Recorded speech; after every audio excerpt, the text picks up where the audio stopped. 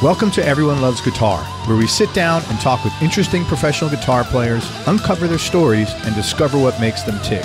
If you love guitar, music, and the backstory of people's lives, stick around. You're in the right place.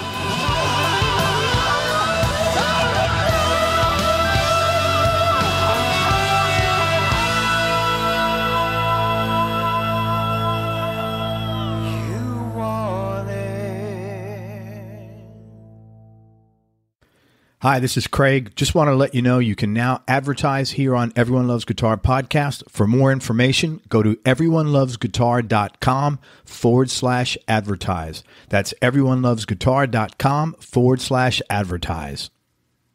Hey, everybody, this is Craig Garber from Everyone Loves Guitar. I have one of the most uh, important, cool, and successful producers in Nashville that flies under the radar. He's like so so good that uh, only a certain he's only available for certain people, and we're lucky that he took the time to come on the show. We're with David Kalmusky. Um, he's a multi-platinum Nashville-based record producer. He's also a guitar player, multi-instrumentalist, engineer, mixer, songwriter. He's noted for his work in the studio with Journey, Shawn Mendes, Keith Urban, Megan Trainor, Justin Bieber, John Oates, Tenille Townes, The Sisterhood, Vince Gill, and loads of other people, loads of other artists. He's recorded, mixed, produced, played guitar, and mastered music for each of these artists. He's currently operating out of Addiction Sound Studios in Nashville, which he actually helped design and build with Chris Huston, who is the engineer for Led Zeppelin, The Who, War, and the Animals. Man, you went right if you need help, that's probably a good guy to talk to, right? Chris is really the best in the world. He really is. that's amazing. And uh, the studio is owned by Jonathan Cain, of course, from the Babies, Bad English, and Journey. His private production and mixing room has been featured in publications such as Pro Sound News, Billboard Magazine, GrammyPro.com, and other high end audio manufacturers such as Fab Filter, Mytek, and Metric Halo. David, I really appreciate your time, man. Thanks so much for coming on the show. Yeah, thanks for having me. Hey, your dad was Kenny Kalmusky, who was a really great bass player, and as I read, one of the original band members of the Hawks with Levon Helm, uh, Richard Manuel and John Till, back in '58. And he was also a really successful session player who went on to make records at Bearsville Studio, which, for if you don't know, Bearsville's up in Woodstock, New York, and it's Todd Rundgren's primary uh, studio. He owns that studio, doesn't he? Well, Bearsville doesn't exist anymore. Unfortunately, it's uh, you know, I, I saw some pictures recently. A friend of mine drove by there, and and there's like hoarders. There were hoarders living there, and, and washing machines and and appliances wow. out on the lawn. But Todd Rundgren definitely. It was owned by Albert Grossman, who managed Bob Dylan and the Grateful Dead and Janis Joplin and and the band. And uh, and the place was basically wired up and designed by by Todd Rundgren when he was you know, just coming out of the Nazz as a teenager, he produced some of his very first records. Uh, my dad played on the first record Todd ever produced, uh, which was a great speckled bird record.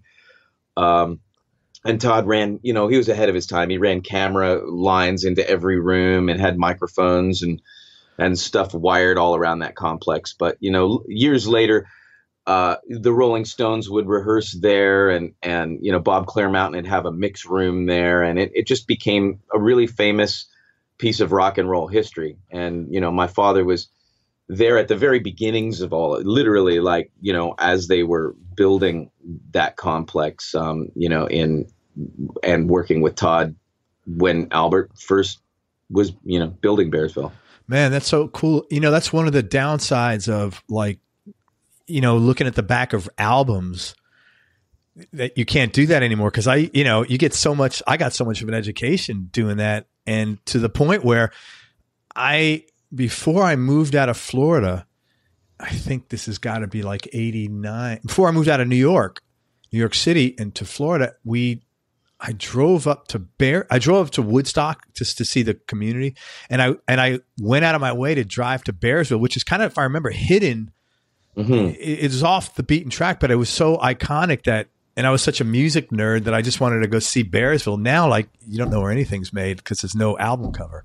No, I know, and we're kind of trying to fight for that. I, it's interesting. I literally just handed in a record to a very, very notable label, and management typically, as we've done for years, had uh, circulated label copy to collect all of the musician credits and the producer credits and the engineer credits and the studio credits and the assistant credits and just stuff that you know um, that gets cataloged maybe on all music and a few other sites that give people their credibility in this music industry and and when we got label copy back it had all been stripped back and they had actually deleted all of even the producer credit like no producer credit Oh my God. I, I replied to the artist and everybody saying not even a producer credit on this. And, and they were like, no, you know, they say they said there was no room for this because they've created their own metadata forms because it hasn't been standardized in the industry yet. Whereas even Spotify now has allowed producer credit and some songwriting credits, but even the labels aren't following the updates and updating their things. So they're just as much at fault for truncating that data and not really fighting for these credits for musicians and, and moving it forward. And, and, you know, I mean, we're trying to figure out, uh, you know, a bunch of songwriters got together and really, you know, fought the powers that be uh, against SESAC for, um, you know, some legislation that almost crippled, uh, you know, uh, a bunch of policies that were in play to protect them. And they won. And it was it was a, a, really interesting thing that happened basically over you know maybe even less than a week on the internet.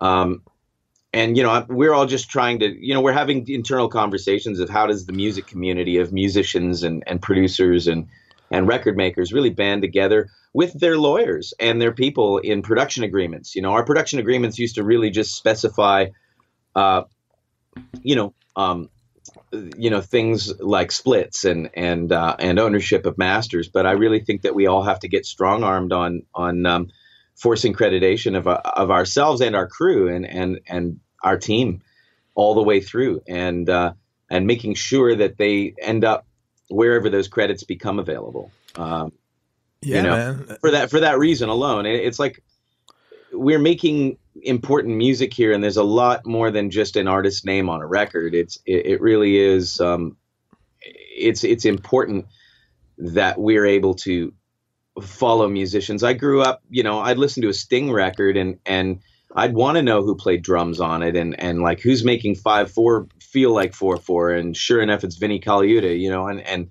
I can find that out very quickly and easily. But like, I would have no idea now on on how to even go deep and become a real music fan. That's terrible. Yeah, because that's in a sense every every bit of every back cover like that's a, a somewhat of a resume for everybody for the next guy, for the next producer that's sitting there and saying, "Wow, I really like how this was done," or the next artist, and then you know who produced that. Well, oh, it's not David just a resume; it's a fan base. It's like you know, session guitar players and people who do really great work. Um, now even when a music fan goes, man, I love the guitar part on that whatever song. Uh, up until now, they could find out who that was, and maybe they could go dis- discover and explore some other things they played on. It's how you could get into Albert Lee back in the day as a session player, is figure out what records he played on, or even you know in Nashville, of course, Brent Mason and a lot of guys that played on a ton of records. Absolutely. Man, you know, it would take you no time to find 15 other records that they played on and actually become a fan of an individual musician uh, aside from the artist and th- and that's and that created a lot of musicians livelihoods and and I see that being taken from them as well too it's not really just um, industry accreditation it really is individual uh, fan bases yeah and and these guys have fan bases because I can't tell you how many session players I have interviewed and I get email thank you so much for interviewing Jeff King or That's whoever. Right. I love his playing. I've been a fan of his, and it was surprising to me. I was like, wow, these guys have. So everything you're saying is 100 percent accurate, man. Yeah, as a producer, you know, and as someone who moved to Nashville a little later in my career, I knew who all these guys were before I moved to town. I knew exactly who I wanted to hire on a record, and I knew exactly who I wanted to play across the floor with. As a guitar player, I'd hire Tom Bukovac, and I'd hire Pat Buchanan, and I'd hire Jeff King, and I'd hire JT Corenflos, and mm just you know all my favorite guys from all my favorite records and they and they became my friends because I knew who they were when I got to town because their names were on the backs of records. Yeah, that's amazing. Um I know we got a little bit off field, but I was curious because your dad did work with so many people. Like, let me just throw some names out there. He did work with Todd Rundgren. He worked with Cowboy Jack Clement, Jerry Reed, David Clayton Thomas from Blood, Sweat, and Tears, and loads of other people. What was the biggest lessons you learned from your dad about playing music, about the business of, of music, and maybe about life in general that related to your uh, development?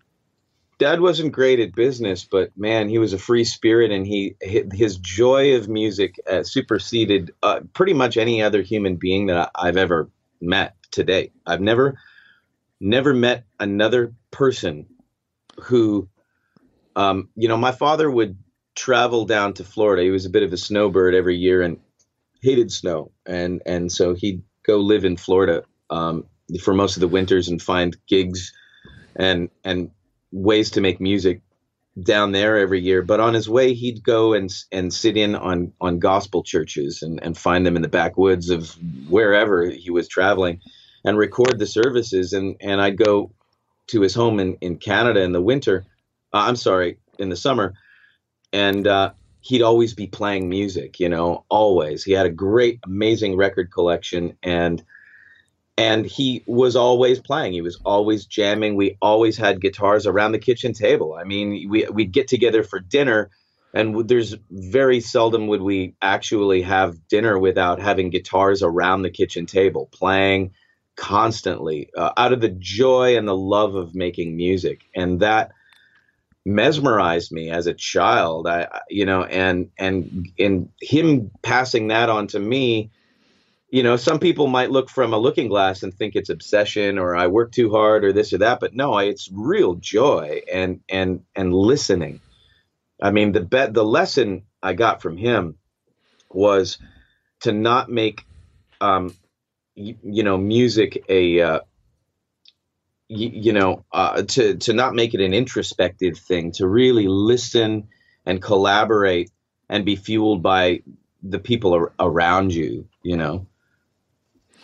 That's great, man. Yeah, I don't. Um, I think it's real healthy to do stuff like that. God, I mean, yeah, that's really a healthy, fun thing to do. It's so. I mean, uh, uh, who wouldn't have loved to sit and who, what music fan wouldn't love to sit and play guitar with their dad? And I've talked to a lot of guys, and that's one of their fondest memories of, of their entire lives is, is playing music with their dad. And I feel like, you know, for a lot of people, music starts out as a very introverted thing where you sit in your bedroom and you practice and you practice and you practice and for me I, I, it wasn't you know i mean again going back to the best thing he ever taught me is that it wasn't an introverted experience at all. It was really about being collaborative and listening and and and being afraid and vulnerable musically to to just step on the edge of what you're able to do with with another musician. And i still to date you know um, i'll have people or younger players coming up a, a, a lot of them want to know how I'll come up with an idea or how did you come up with that hook or that line or that guitar part's really unique. I'm not just playing a chart with, you know, just marking the changes or chords. Um, there might be odd voicings or there might be something that I'm doing that makes a guitar part unique and they'll say, "How did you come up with that?" And I didn't. I didn't come up with it. I listened. And the room fed it to me. Sometimes you listen inside to what everybody else is playing and there it is. There's some overtone and a harmonic of what two people are doing that are just just feeding you melodies. You you're hearing inside what what's already there. And so anyway i guess that's the best thing my father ever gave me is is is my ears to listen inside of what's already in front of me. Great gift man. I was curious how did you go from playing guitar to production and then all the other things you're doing behind the console. And how long ago did this happen and over what period of time did it take? Um, for me, there wasn't a transition. It was always in tandem. Um, in my bedroom when I was six years old, had reel to reel tape recorders. I was doing sound on sound. I was doing overdubs. I was playing with microphones. I was messing around with tape effects. I was messing around with production ideas as I was learning guitar.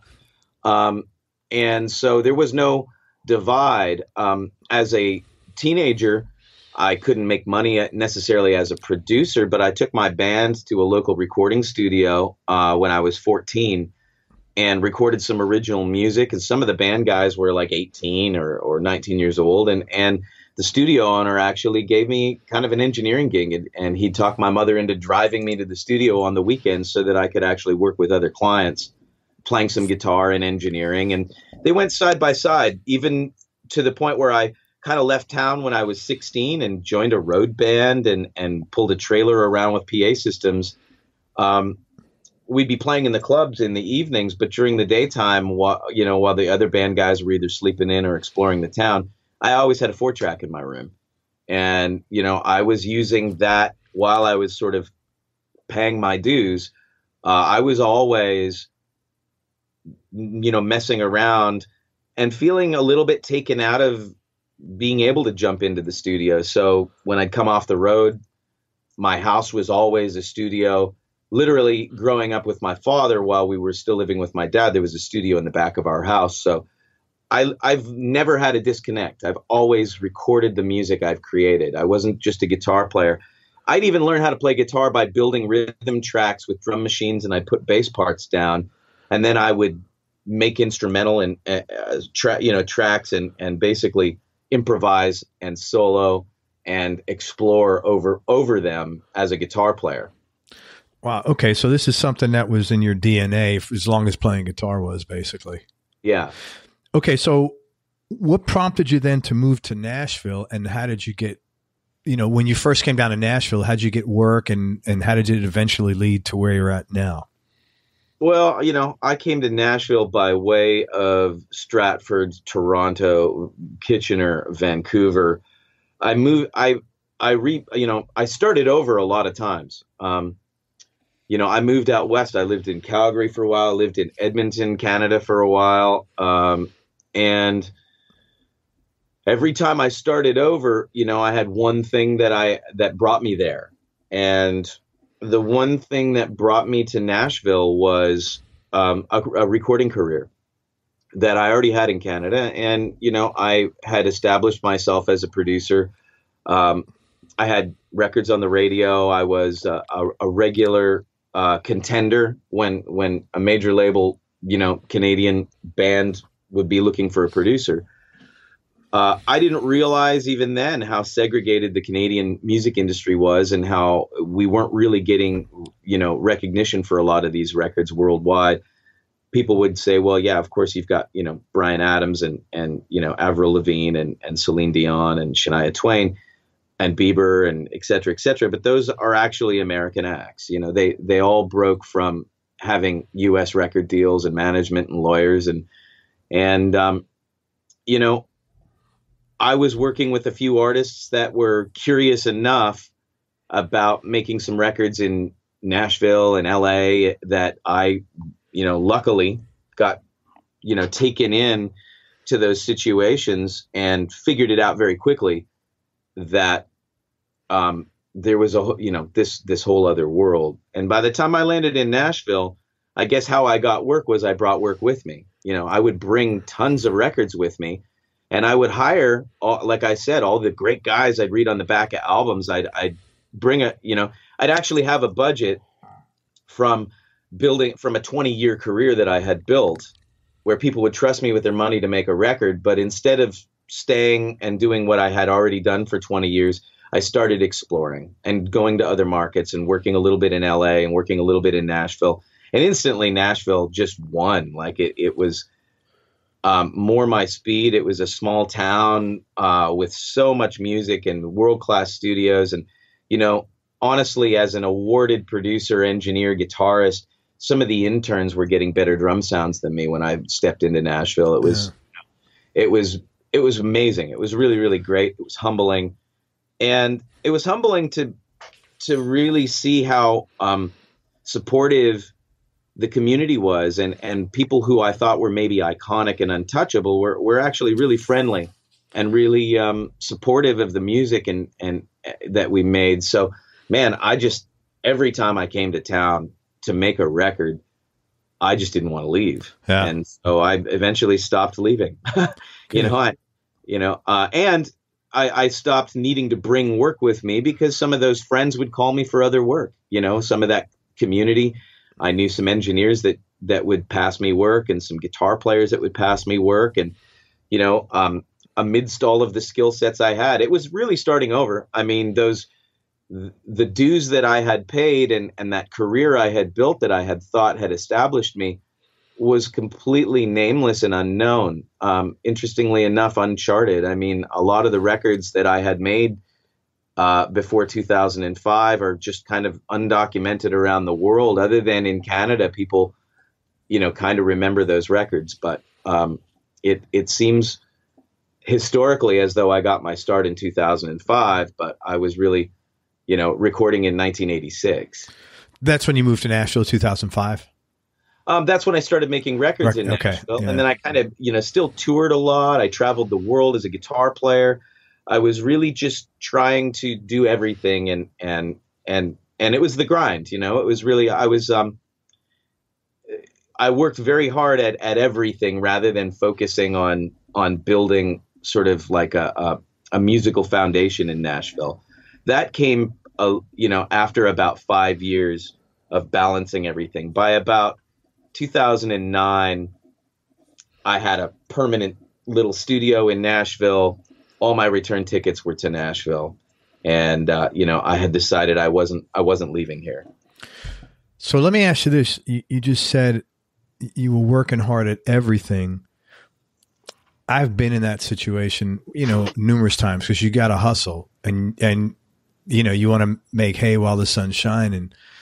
What, and it's it's often difficult, or it has been for me anyway, to know. Okay, I need to let go of A, B, and C and focus on D only or D and E. What was the trigger that allowed you to do that? Um, like, and have the confidence to do that and say, okay, I, I'm, I'm good. I know this is going to happen.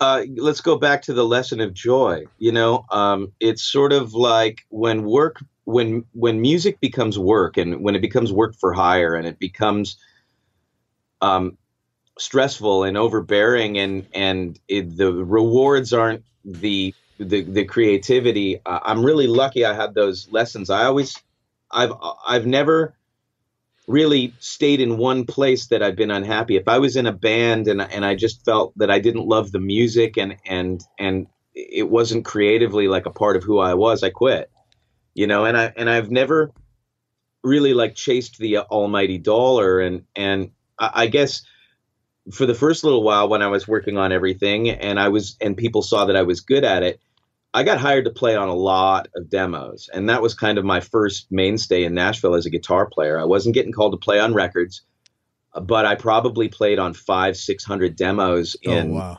in, you know, I don't know, four or five years. And um and I wasn't happy doing it. it. There was some really bad music, and there was a lot of bad demos, and it wasn't. I wasn't you know, choosing the music, it was the work that was available to me. Sure. And so I quit. You know, I literally, I, you know, and, and, but I, we all needed to survive. So I trimmed it back. I, I, you know, I didn't just immediately quit. It was sort of like by the end of five years, I wasn't playing on demos anymore. And I was um, recording music again that I was discovering that I was, you know, maybe even for less. I, you know, I, was doing some pro bono work on with artists that I knew had the potential to to really have a record on the radio and helped put a few of those artists on the radio. Um, and in the interim got paid for that in the end, but had to sacrifice the stability, I guess, and and and the guarantee of the of the demo work. Um, and so I know I'm I don't know if I'm no, you're you're right on you know, target, dude. On, no. on course uh, or anything, but it's sort of like you know, I, it's the fine balance uh, between really chasing that joy because you can't always, always have that until you really get to a place where those dues have, have paid off. But you have to realize if you're just stuck in a rut and you're successful at that rut, you got to, you immediately have to recognize it and you have to make you got to work harder to develop other opportunities for yourself. So uh, even though I was really busy and maybe I'd do, you know, two or three sessions in a day and at nine o'clock I was really really tired because I'd played on a ton of demos that day. I'd still get in the room and write a write a song with an artist, you know, Hmm. or I'd I'd take an opportunity to demo something for myself, or I'd mix something for a friend that I know would probably end up making it on a record and and and get me more mix work, you know, that that I enjoyed better than uh, you know than just hustling for uh, you know for the demo work. So I've I've always shifted. I've always kind of like um you know it's not if if it becomes work for hire and it becomes repetitive uh, I'm not really that involved in it anymore. And so, you know, fast forward a decade of that, and I'm sitting in a situation where I just don't get those calls anymore. Hmm. Um, people don't consider me for work for hire. If they need a utility provided to them, like, hey, we need someone to record a few tracks for this, or, um, you know, or or you know, do a bunch of demos. I'm not. I'm not even a, a consideration for that Yeah, because You you're know. so far removed from it. um, because yeah, I just Right. it, it was sort of that that experience, and it was a slow evolution. It wasn't like overnight, like okay, I'm going to quit everything and starve again. It was like, how do I develop other things that I a- am excited about? Because at the end of the day, I actually want to drive around in my car and listen to the music I'm working on. yeah, I missed that. Yeah. I really did. Yeah. I used to do that. Like even with those four tracks and stuff, I- I'd sit in my room and I'd create stuff as a kid. But the real fun was actually listening to it, Mm, mm. you know, and like listening back to it over and over again. And and you know, um, and I do that now. I'm like a little kid, man. Like I'll work on something in the studio, and and man, if I don't want to get in my car and drive around and just experience the music I'm making, then I'm not doing it right. Yeah. Well, I think that's an important lesson what you said about how you didn't stop hustling. You just started stopped hustling in the areas that you didn't like and found or made or created opportunities in the areas you did like. And then those opportunities eventually panned out. And then you, you know, you just re- changed the, the, where the, the cups were, you know, you poured more of the stuff into the cup that you liked more. Yeah, So, that's right. It's a fine balancing act. I think that if people are too, uh, I, I also watch people who are like um, unwilling to say yes to a bunch of stuff because they they're too much on the on the right side of what I just said, where they're like, no, man, like that's you know, uh, that's a detri- detriment to my integrity. But what else are you doing? If you go work at Starbucks, that's more of a detriment to your integrity as well. Like if you do have a skill and you're up and coming and you're not quite there yet, you, you got to do the hustle. You got to do the grind. You got to find ways to evolve yourself out of it. I watch a lot of people who kind of too early get too stubborn about their artistic ideas. And it's like, you know, and, and they'll, you know, say, eh, you know, I don't want to sell out and do that. Well, I don't think I've ever sold out and I've managed to linearly uh, and steadily build. If you look at my life, it's it really is a ramp, and it's been upward, you know. Um, and it really is about saying yes to everything and always being a little bit in over your head to the point where every year it's just better work and better music and better friendships and better relationships. And I'm not surrounded by a bunch of people who uh, are willing to discard me for something that's utilitarian that 50 other people could do. People wait for me now because they want to work for me with me for something. You know, Yeah. they want my input or they want my creativity or they like how I play. And the the dialogues now that I have because I've built that for myself is more like, hey, when are you available to do this thing with us rather than, hey, we're doing this thing on Wednesday. Are you available? Yeah. like if I'm not, then there's a list of 15 other guys that they'll go down the list. you Yeah, know? yeah, I totally and get it. thing if the, you know if there's young listeners trying to figure out how to build individuality and success, that's something to just keep in mind. Keep busy, say yes to everything, be disposable, absolutely, but look for the people that you build a connection with and and and that really respect you for their creativity and then do everything possible to make more music with them even if there isn't a paycheck involved. Yeah, that's that's you got to be able to you got to be willing to work for free to some extent And, well, for a not for a little bit. think about it like investment. I always say never yes. work for free either. I Always put a price tag on your head because you know the, the it's the most underappreciated work I've ever done in my life has been the free work. Absolutely. You, absolutely. You get what you pay for. And that's the perception of people.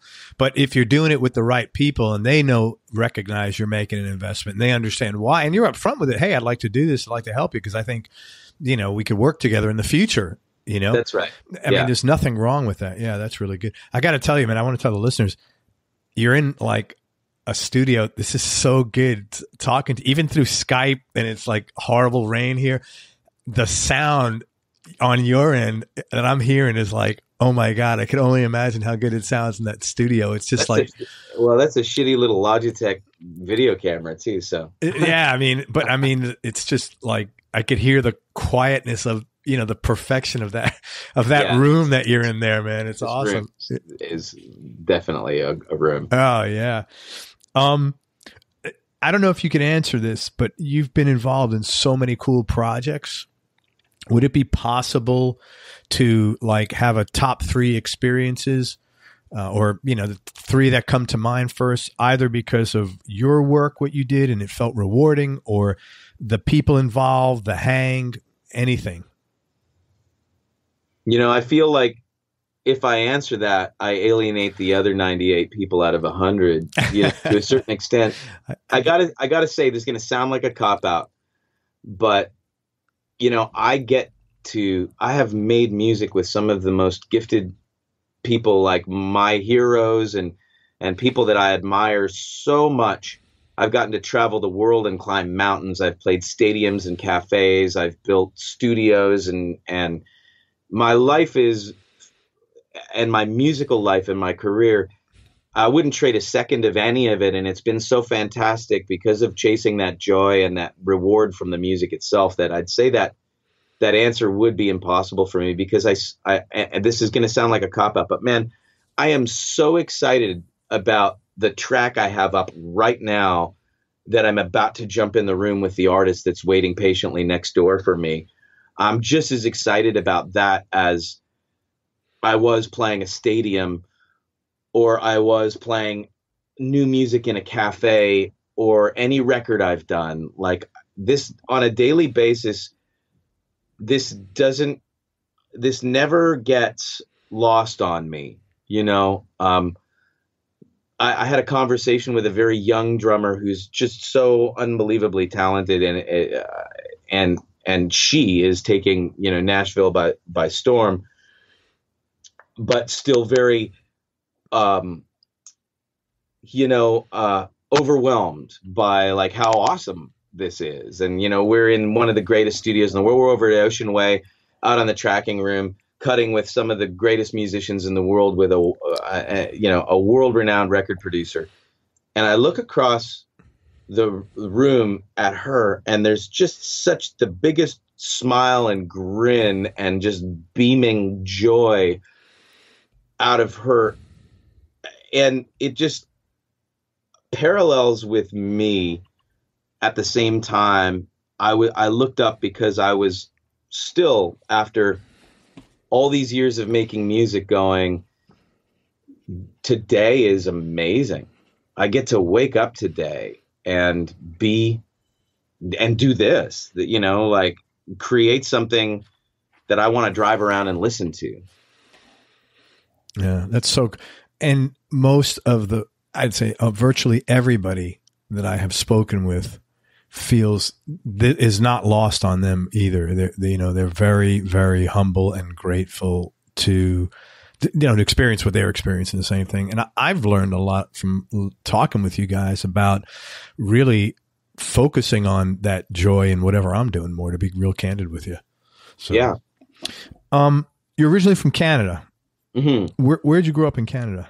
I grew up in a little town called Stratford, Ontario, which uh, before it was home of Justin Bieber, it was home of Richard Manuel from the band and John Till from Janis Joplin's band and my father.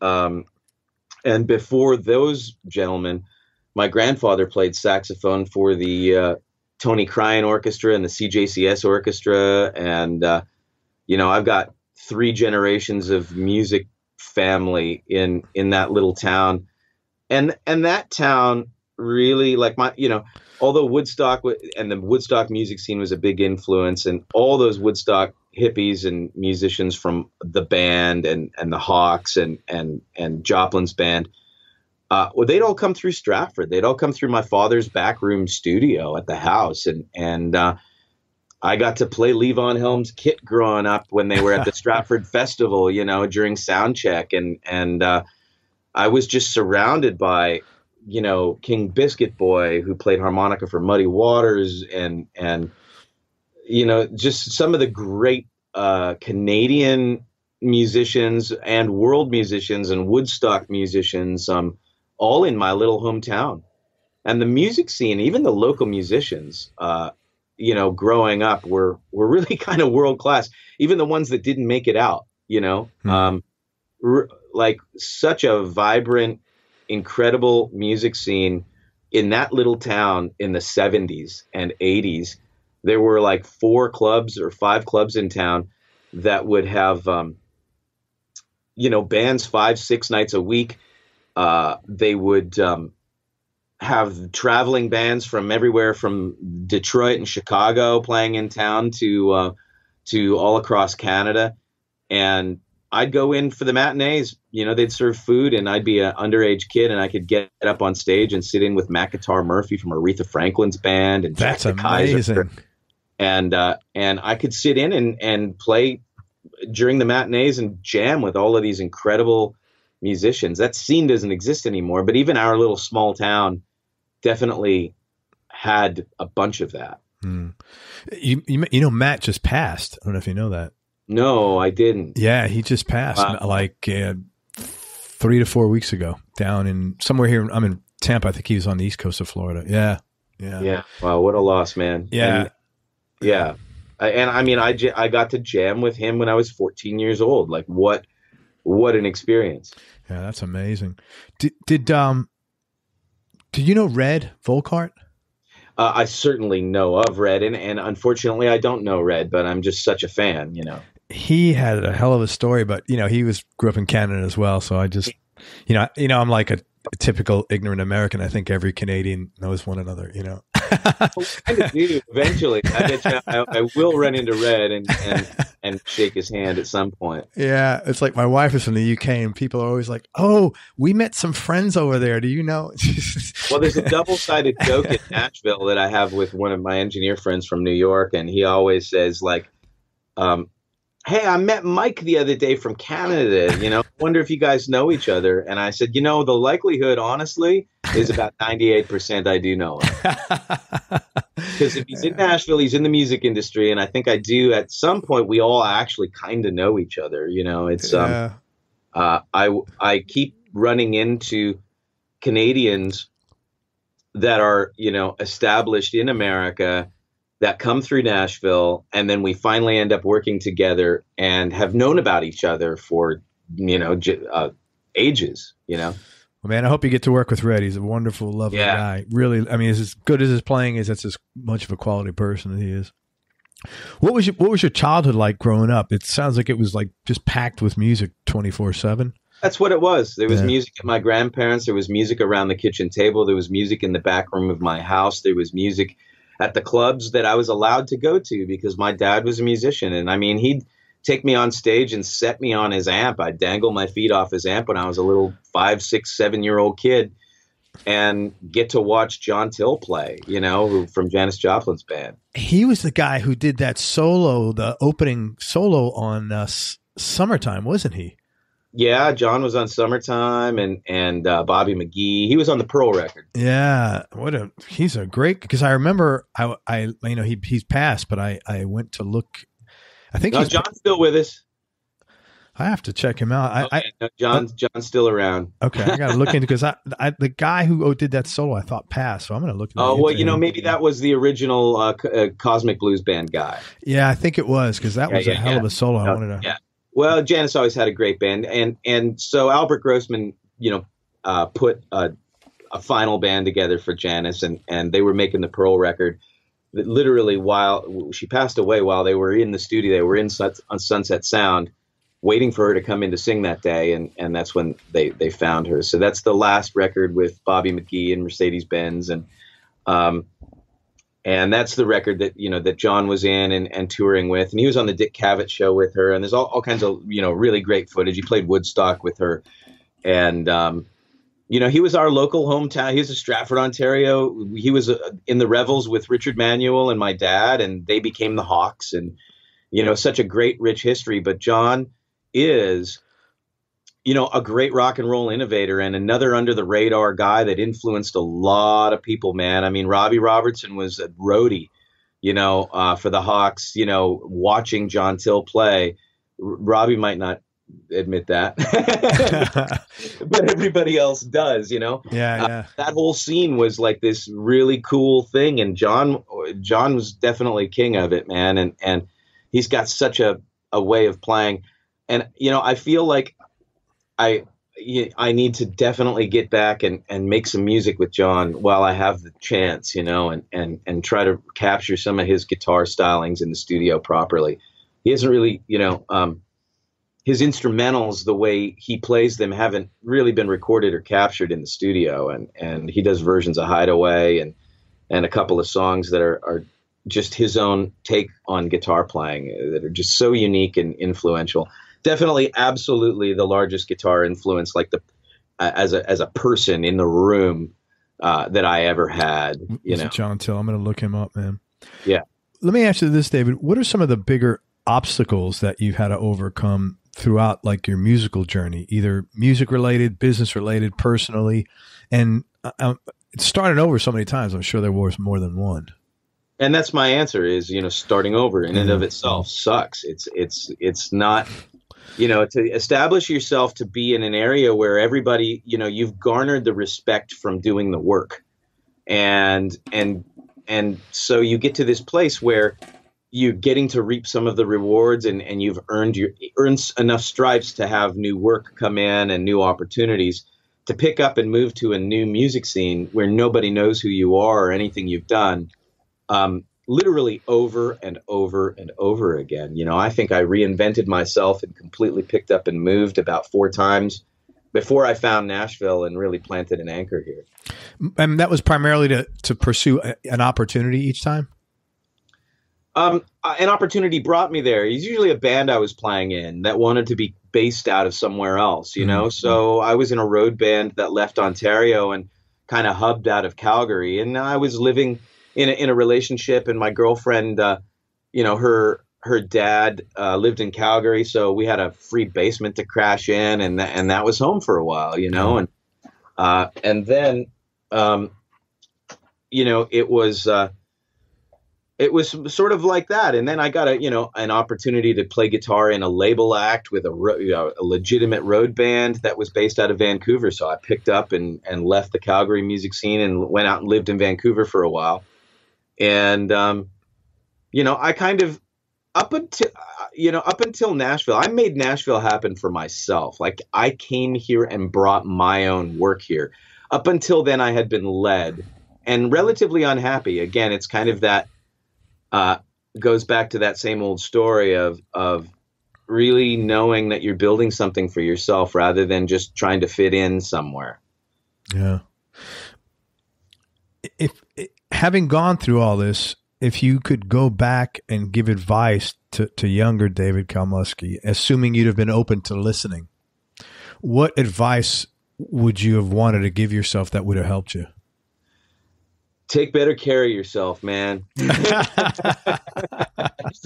you know, like just, you know, don't be an asshole. Uh, you know, be kind. And, you know, it, it's like I feel like I started out cocky and arrogant and then I earned some stripes and, and got open to learning from people. And now I'm so overwhelmed and blown away by 20 year olds that are teaching me shit every day, you know, and I know they may walk into the room wide eyed and look up to me because of some credentials or some, some, uh, uh, things that they're aware of, but man, I, I'm more blown away by them. Honestly, they're just walking in expecting something out of out of nostalgia to a certain extent but what we create in the room in the moment, I can learn from anybody. You know, I got to record, you know, a six or seven year old uh, Maisy from you know Lennon and Maisy from you know uh, from the Nashville TV show. She's seven years old and sings like Norah Jones. you know, like Oh my god. like so gifted beyond uh, you know comprehension at some points. You know, and and I- and I've gotten to be in the room with Vince Gill and Journey and and and Keith Urban and and you know um, Greg Wells, the producer from L.A., is actually a fellow Canadian.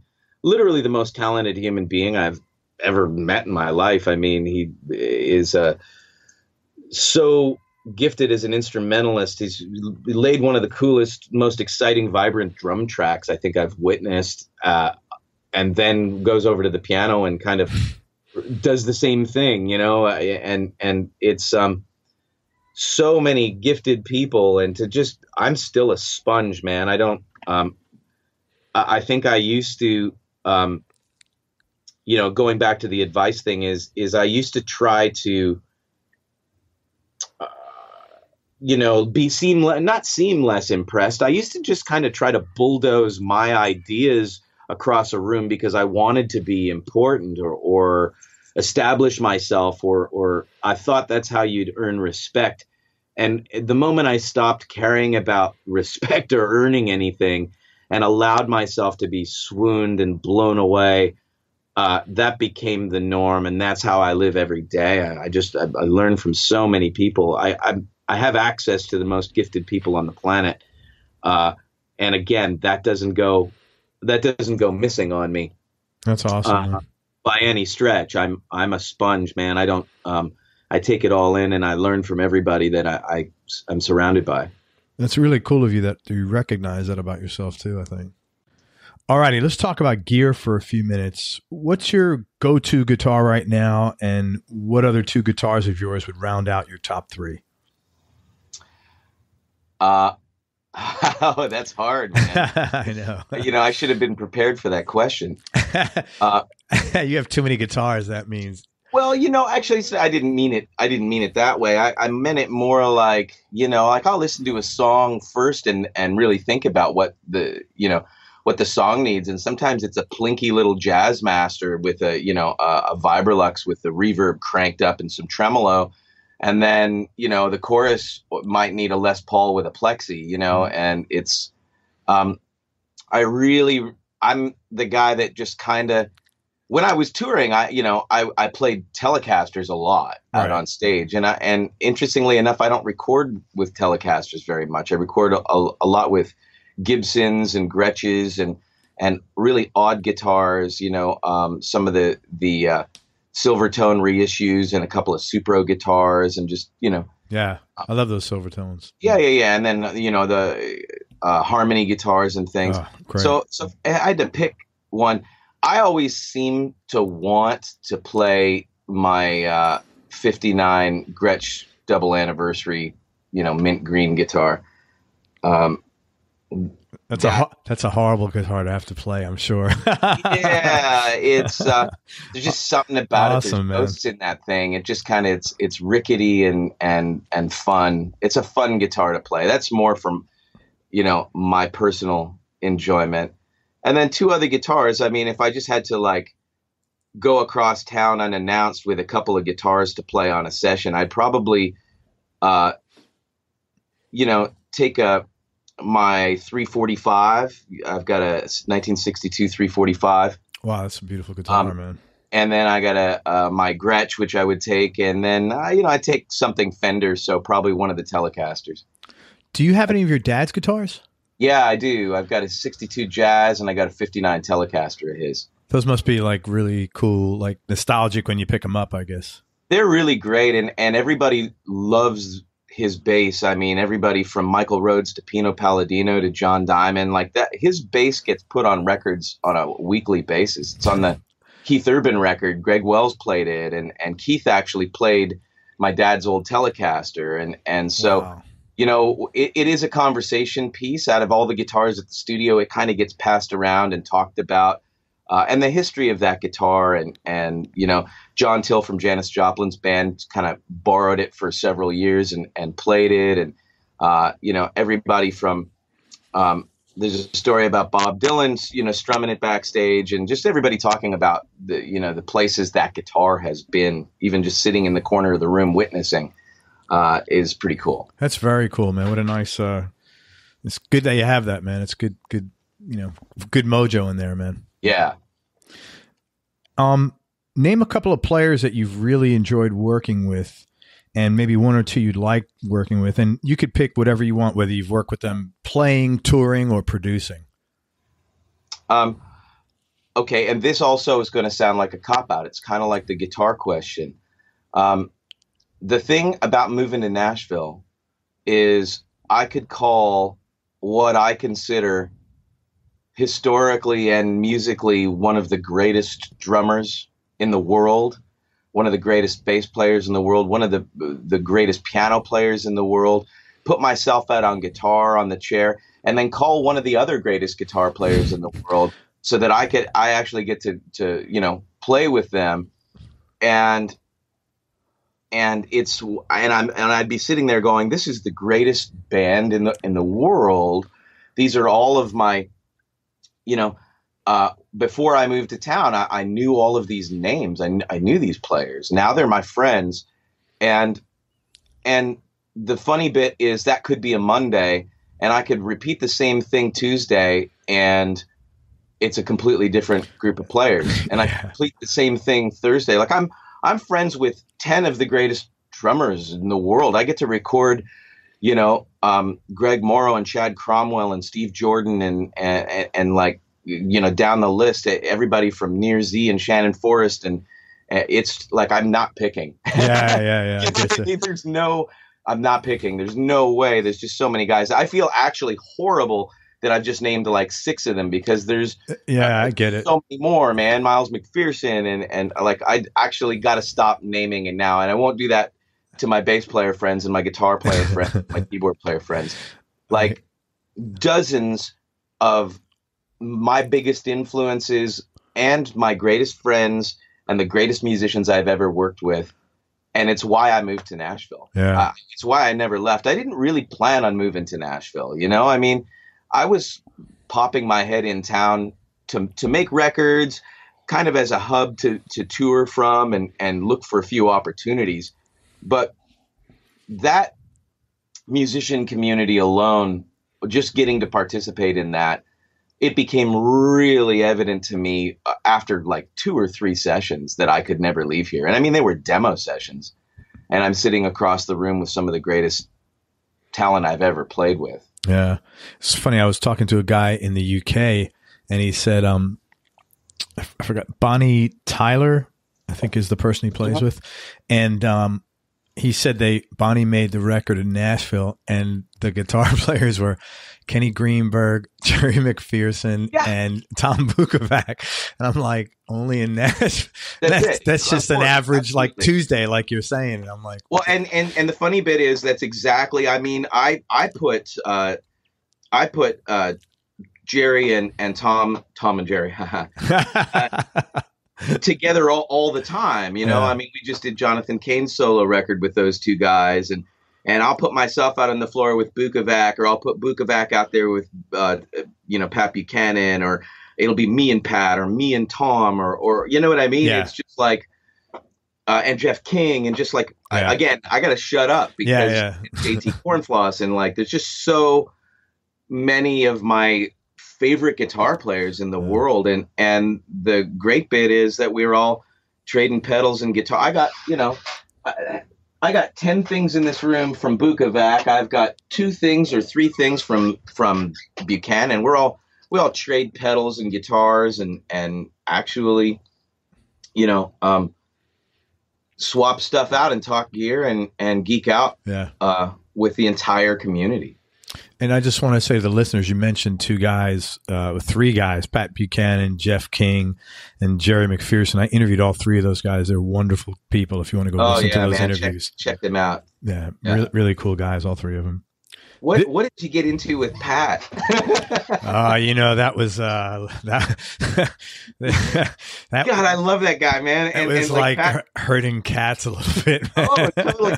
Well, you know, imagine being on a session with these guys too. Like between tunes, I said it's it's sort of like the most attention deficit children that you could ever, you know, you could ever imagine because the moment the track stops, everybody's like playing Led Zeppelin songs. Some guys are wandering out in the lobby playing the jukebox. Hmm. There's other guys on their phone. It's just sort of like, you know, I, I Uh, will tell you that Jerry, eh, Jeff got really deep personally, and Jerry um, got really deep as far as career in the music business. It was a both of those guys were really great interviews, and I and I've since seen them since the first. I first I, I got to meet them in Nashville one time when I came up. I was out, and Jerry came out to to hang, and Awesome.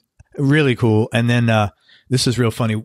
Um, my wife is a Reba fan, so Jeff Hmm. was coming to town, and I said, "Hey, Jeff, you got some time to hang?" And he goes, "You know, just he goes for a little bit, yeah, before the show, but he goes, you want some tickets." And I said, "Yeah, that'd be real sweet of you." So he gave us tickets, and um,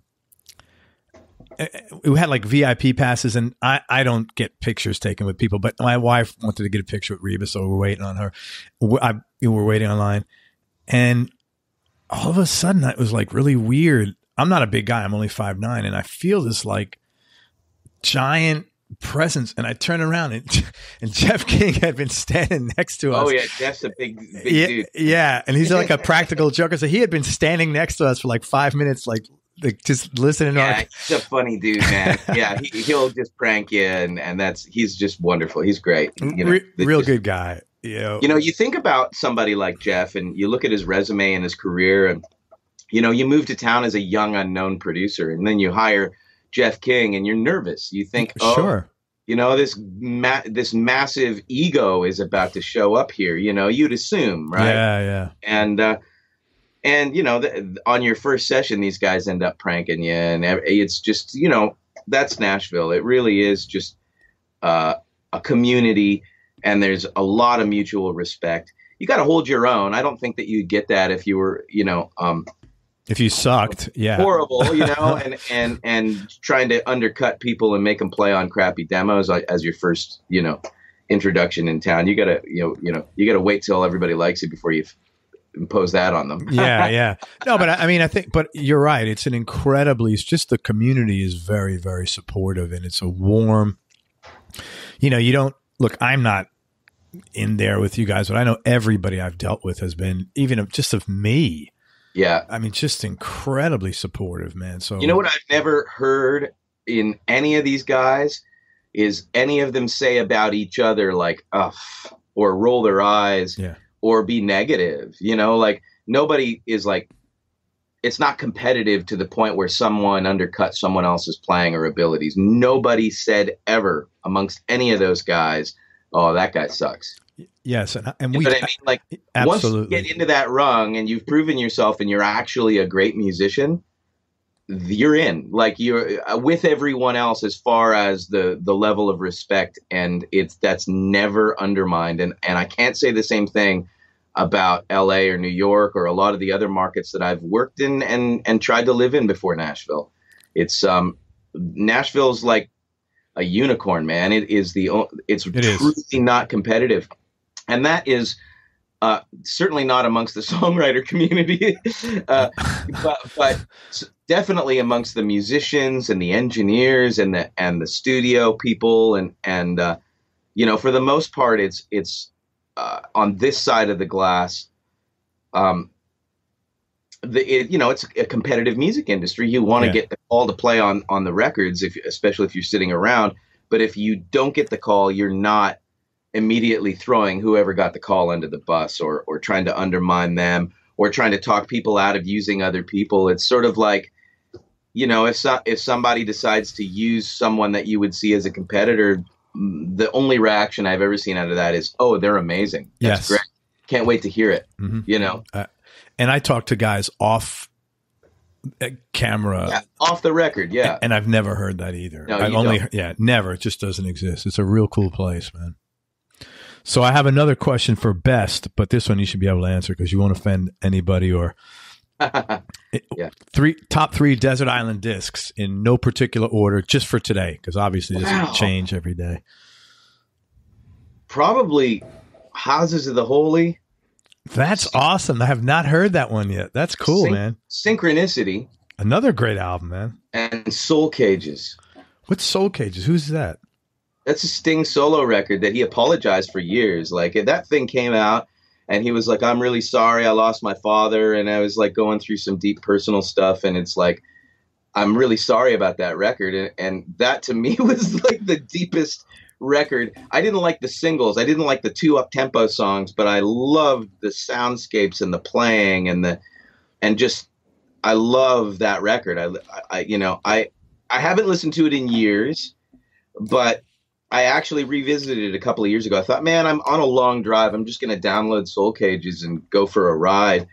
And I was not disappointed. And it's like when I visit some records I was into when I was a kid or youth, it's it's about 50-50 sometimes it's almost embarrassing to listen to it's like oh wow i thought this was great and then other times it's like oh yeah no this holds up um, soul cages is still man that's just a work of art for me i'm gonna have to check that out i've never heard that record what's the david what's the most important things you've learned about yourself through your career experience and life in general um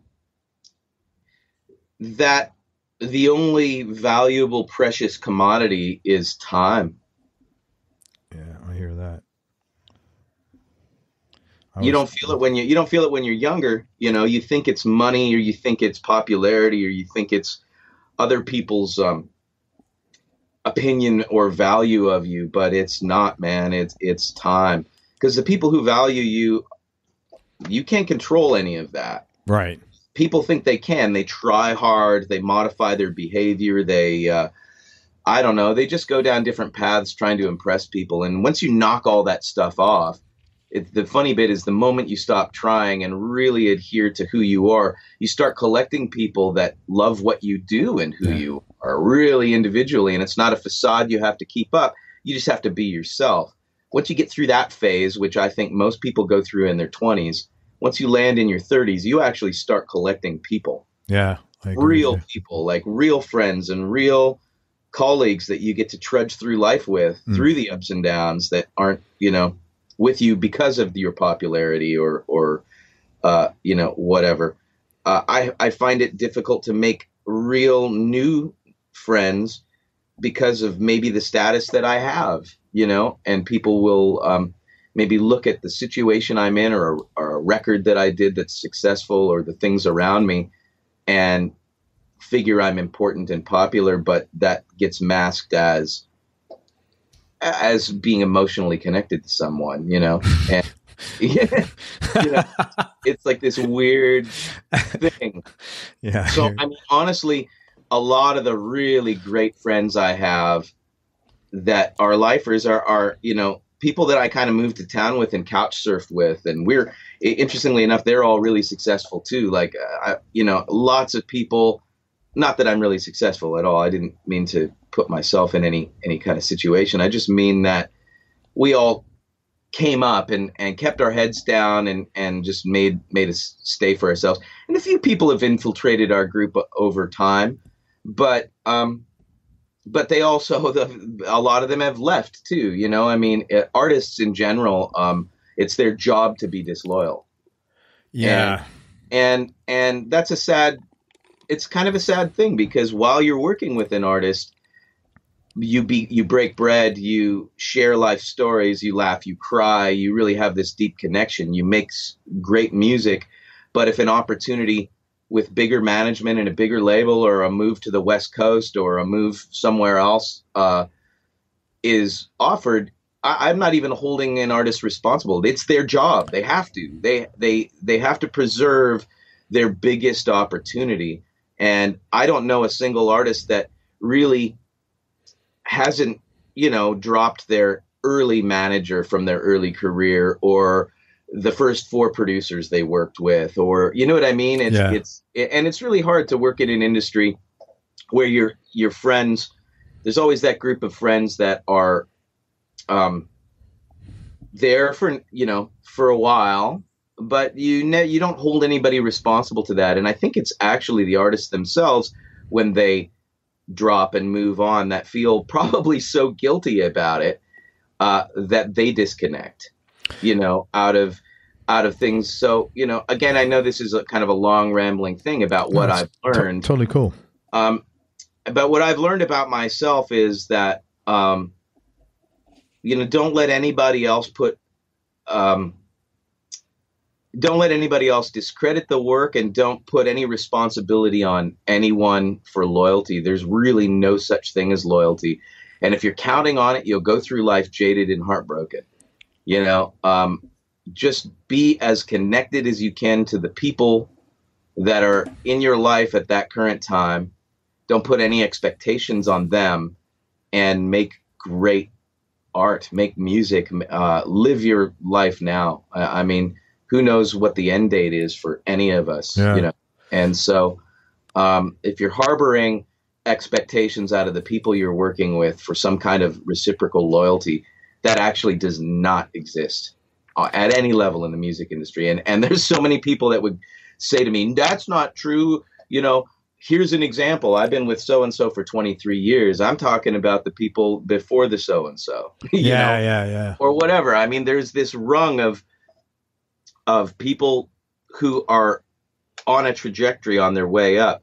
I had to leave my home country. I had to move across to the West Coast. I had to quit bands. I had to do all kinds of stuff too.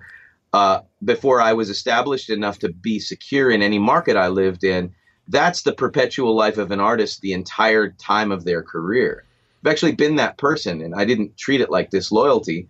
It's self-preservation, and it's it's giving yourself the opportunity to um, to be in the biggest opportunity available to you. So you're just super mature about, you know, this isn't a personal thing. People are moving up, bottom line. People are doing what they have to do, and it's not about me, it's about what they want to do. Yeah, and you know it's interesting, uh, but by the same token, I'm not saying I'm uh, you know a philanthropist of loyalty, but I've been the guy that has been approached by management and a label and artist to produce someone, and when I investigate their material, it's fantastic, and the recordings they've already done are really amazing, and I'll be the first one to to go back at at that the team and say, why wouldn't you release this material, or offer to co-produce with the existing team if the if the people involved just didn't have the name because it, it's like it's such a sad thing. I, I've certainly been punted for a bigger name more than chosen because of my name. Hmm. Uh, but I have this conversation with some of the biggest producers in the world. This is common. This is why I say what I said earlier, where is this this myth of loyalty doesn't exist. It's it happens all the way up and down the ladder. So you'll have a young struggling producer think, if I could only be so and so because they're established and they get all the calls, those people get punted all the time for somebody more interesting or important. That's cool that you're sharing that because I think a lot of people listening to that will feel a lot better when they when they hear that. Mm-hmm. You know, it's funny you mentioned time. I've always told my kids, I said, you know, you can always make more money. You cannot make time. I agree with you 100%. That is the scarce commodity, man. Yeah. This is a tough question. What do you like most about yourself? Oh, uh, you know, I don't know. I think that artists are pretty self-loathing. Um, Somebody, I asked somebody, I asked Adam Zimmon that question. I don't know if you know him. He's a guitar player. He plays with Ziggy Marley. And, I, s- and I asked him that question. He goes, how can I answer that question? I have so much self-loathing. yeah, I, I mean, honestly, I you know, if we're really being honest, it's the crux of it. Um, I like my ability to mentor, help, and include people. You know, I think I like the fact that I really do use my ears and my my I'm so unfazed and uninterested in status, popularity, or previous success. It really is about personality, people in the room, and making music. I've learned from 14 year olds I've worked with. I've learned from 70 year olds I've worked with. If I'm in the room, I'm completely oblivious to anything other than what we're creating. And I'm so excited about it, whether it's an indie project that's just starting out that the world doesn't know, or whether it's a triple A list superstar. It, it, it literally makes zero difference to me. There's no, there's no difference in the adrenaline. That's awesome. And I know that's a that's a gift, man. I, I you know it's it's allowed me to navigate kind of in the sidelines and and have sustainability through what's a, a long career that I hope is you know somewhere in the middle. Hmm. You're also you to me you come across like, like you've got good survival skills. I think. Yeah, yeah, yeah, yeah. I, I mean, I that must. I mean, that must be. I something. am so compelled to do this that it's. um I don't need much. You know, honestly, I didn't come from a tremendous amount as far as luxury and and money and and and all of that stuff. I came from people. Hmm. You know, like I came from a family that was that w- had to work hard and and and I always thought had really nice things and a really nice upbringing and considering you know a s- single mom with a, a you know a pretty low income uh, growing up and a musician dad you know um, eh, there weren't doctors and lawyers. There w- wasn't Sure. millions of dollars and, and brand new cars in the driveway every year. So that stuff doesn't mean anything to me Hmm. at all. Uh, it's sitting around a kitchen table connecting with people. It's conversations. It's um that's all i've known in my life. So when i have a little bit of money and i have a little bit of um sustainability i, I may invest a, a little bit in some of those things but i just invest in the things that allow me to continue more of that which is building a studio and and and getting the even more equipment and the things and the toys that I want to do things that I think are incredible and then I think that that's infectious and then that compulsion when I work with an artist gets really inspired and it's this cyclic thing you know? I invest honestly in people. It's always been about the hang. I, I tell even the interns and, and people that come through the studio they, they get so focused on their priority list and I tell them, you know, the candles and paper towels are, are literally just as important as the U47 and the and the vocal compressor. You know, it's sort of like we this is all about vibe. Who doesn't have gear? If you're making records in the music industry, there better be lots of gear around. Yeah. That's it. It's the people sitting in these chairs and the experience they can have together uh, that that's just always been my focus. I I feel really connected with the music I make, and I feel really connected with the artists I make the music with. And I know Nashville can kind of get. I see a lot of people complaining on social media about the cookie cutter nature, and I just read a thread where somebody was complaining about, you know, there being no creativity in the workspace and expectations, and and I'm like, uh, it's the complete opposite experience for me. I, I've never sacrificed that to just churn out something formulated to adhere to the needs of uh, whatever the latest testing and, and trend is. You know, I don't make music for um, for the common denominator of the Billboard charts. It, Mhm. It's it's never come into play. What I do is get to know the life story of people and try to make music that. Uh, I mean, we make some duds along the way. It's kind of you know everybody does, but man, the music that I've connected with, I'll listen to 10 years later and feel just as emotional as I did in the studio making it.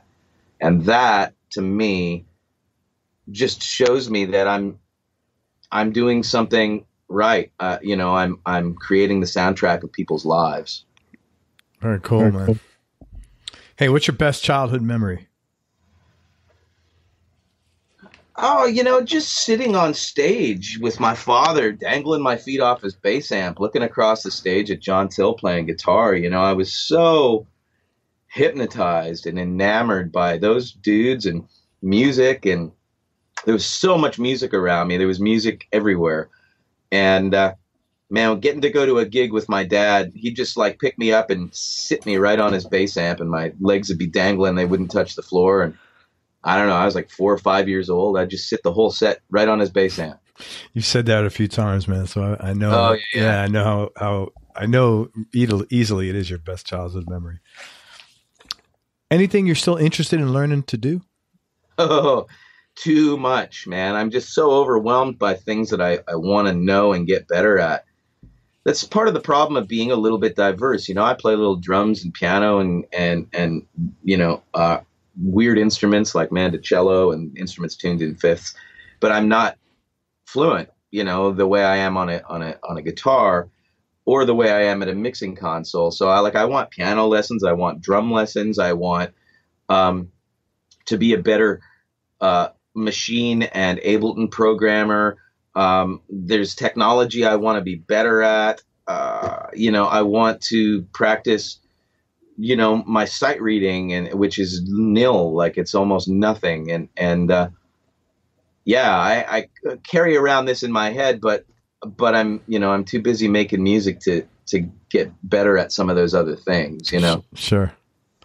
It's always good to have that stuff, though. It keeps you sort of, you know, driven or yeah. What are you proudest of, both musically and personally? Um, huh. You know, are, are they two separate things or one thing? That's a good question. I feel like I don't. I just keep my head down. You know, I don't. I don't exercise pride. It, it, it sounds a little odd, but um, I never really thought about it till I'm actually faced with that question. Um, and I mean, I'm proud in the moment. Like I, I have daily or, you know, daily exercise of pride. When I hear playback in the speakers of something that went really right or it's created, man, I'm, I am super proud in that moment. And that, and that isn't about me, um, getting any kind of recognition or approval from anyone else. That happens to me sitting alone in a room the moment I come up with the perfect guitar part for a song or when a beat really lays in and feels great and I'm playing it and and or I hear a sound that I've created in the studio like I get so proud and excited um, about that on such a regular basis. You know, I'm proud of the music I've made. I guess you know, I, I mean, of the good music I've made, uh, both on a personal level and and and on a musical level. So I had a question here. I you may just say no. What any hobbies or interests outside of music? Yeah, you know, I mean, electronics, which is kind of music. you know, that doesn't count. You know, I asked somebody that question one time. They said, "Yeah, guitars." yeah, guitar. Yeah, exactly. I'm kind of that guy. Unfortunately, man. I mean, I, you know, it's funny. I, I, did fix up an old house over the last couple of years, so I like tinkering around. Like, that's I, cool. My father was into woodworking and doing really cool things. You know, he's a very avid musician and audio engineer, and still found time to create these amazing glass-like finishes on old tables. You know, the antiques that he'd refinish and he just loved it. He didn't do it for money or anything. He just like he'd give furniture to his friends, or he wasn't like selling pieces of furniture. He'd do it for himself. Um, and I feel like renovating a house was very. Um, and I mean, I had contractors doing most of the work, but I'd go over and actually like I I did refinish the countertops myself, and I tinker around, and I'm building something cool over there. Like I like antique shopping, and and you know, oh, again, we talk about creating a vibe and like rather than this is a guest house for for like musicians and artists and songwriters and friends that come to town. And so i know it's kind of has something to do with music but it's more about the human connection and friends because i do just have dinner parties over there and invite people over when it when i don't have clients in town. But rather than just like have a place for them to crash i put a four track reel to reel studio over there with some old microphones and a baby grand piano and it's hundred year old oak, uh, you know, hardwood floors that I had refinished. And this was a dilapidated crack house uh, that was abandoned since the awesome. 80s. So it was like you know the the plaster ribbed walls and the ceiling had caved in. It was like it was a complete, unbelievable you know transformation. And um, so now it's like looking for board games and putting a typewriter with some letterhead for people to write lyric sheets on and, and, love letters to their friends with like you know uh, post stamped envelopes uh, so that you can somebody can just sit down and type a letter to somebody they yeah. love and uh, and a record collection you know and and just having like a really cool place for artists to go that's kind of my hobby is like create vibing out that house as as like a as like the coolest hang ever. Yeah, man, that sounds like a hotel room I want to stay in. You know, like yeah, very cool, man. Hey, I'm gonna ask you three more questions. First one, yeah. as somebody behind the board and a producer, what's your favorite and least favorite part of your job? Favorite part of the job is definitely tracking. Like, you know, what do you mean by that specifically? Well, it's like taking the ideas that I created with the artist after listening to the demo or sitting with it acoustic and vocally and you know agreeing on a tempo and a vibe and really imagining the casting call of what musicians we want to play.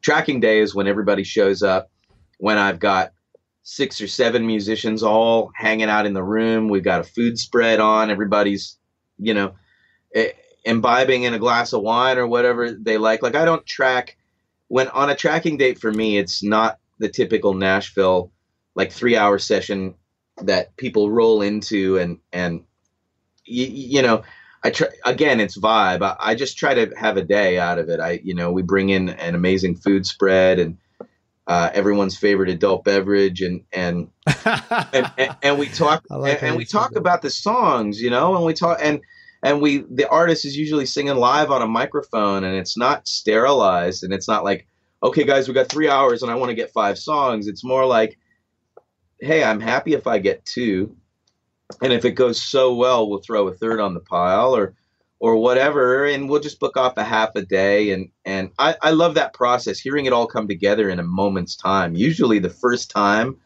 the band is doing their initial pass it's like you know you know like this is so unbelievably amazing beyond my expectations or this is far below my expectations and we need to make a change. Mm-hmm. I don't like piecemealing music together. I don't program a bunch of elements and then bring in one guy at a time and build it up to sit at the end and go.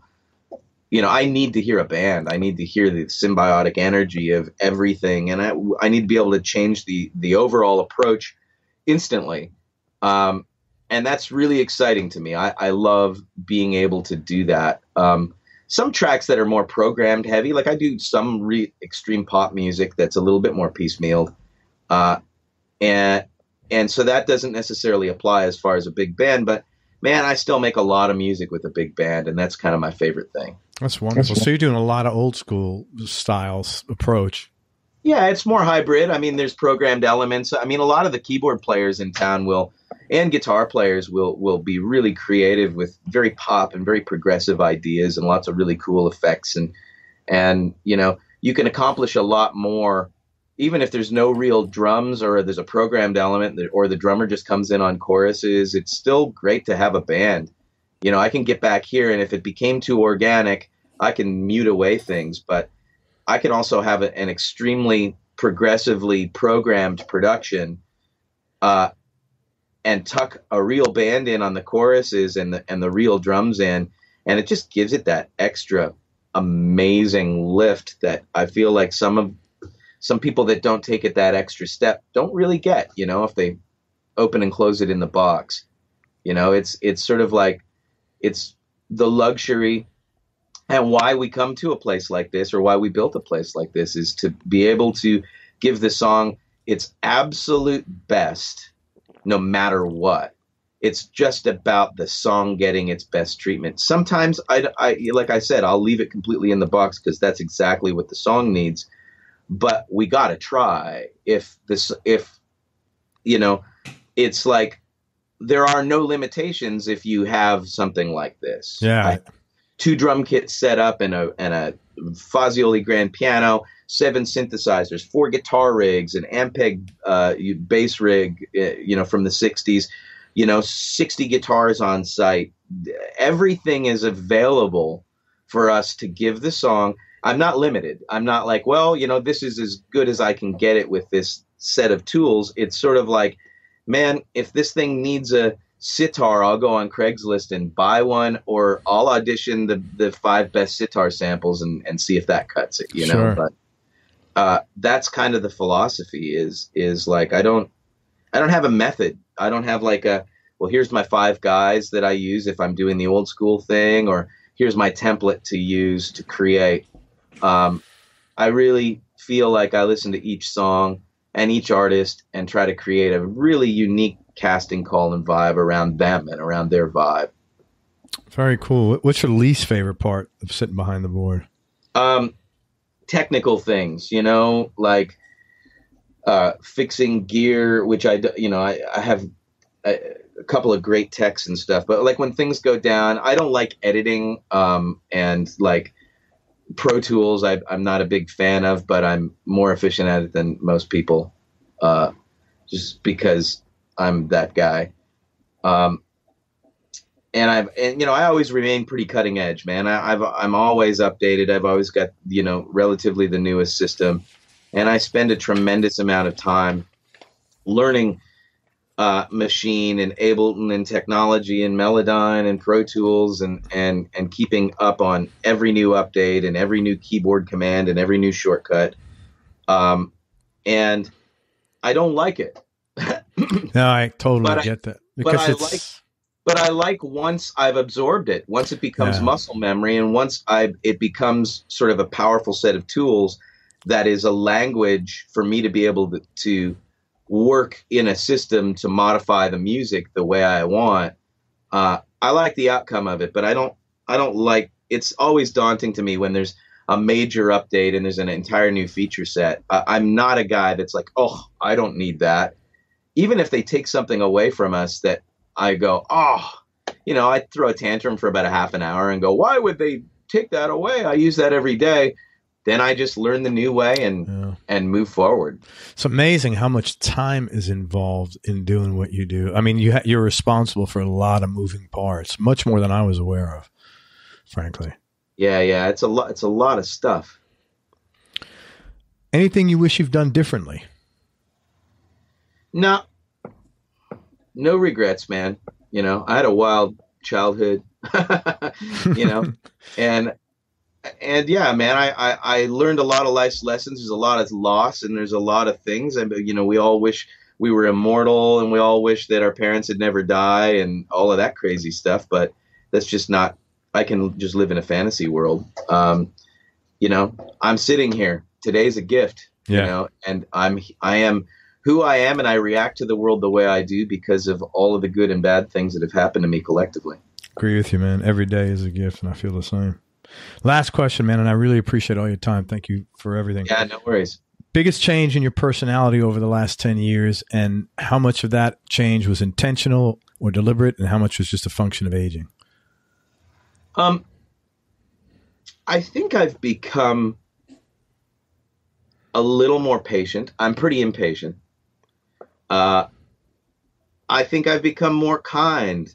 You know, I, I, I think that the youthful arrogance of me in my 20s into my 30s um, dissipated and was humbled by Nashville pretty quickly.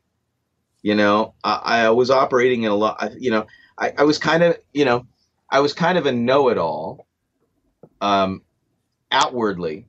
And now it's like I I'm humbled. I want to know everything.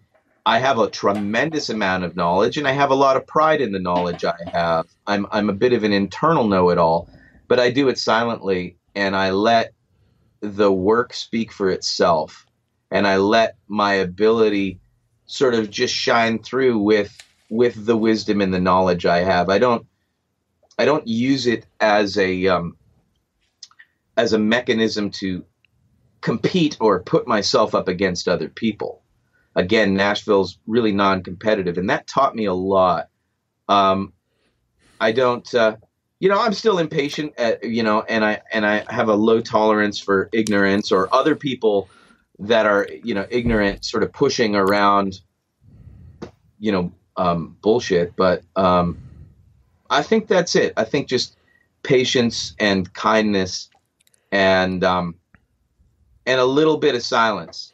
Just not not not talking shit, not talking about stuff, just doing it and learning it and knowing it. And then if it comes up and if somebody needs a little help or someone wants an opinion on something, they, they might even be surprised by the vat of knowledge that may come out um, in, in a certain subject where they didn't really know I was knowledgeable.